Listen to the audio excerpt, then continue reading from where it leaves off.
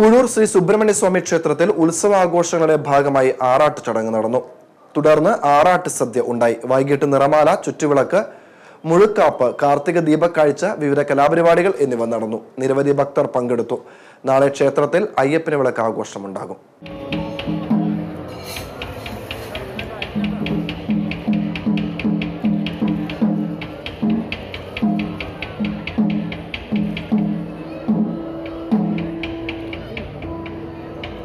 Thank mm. you.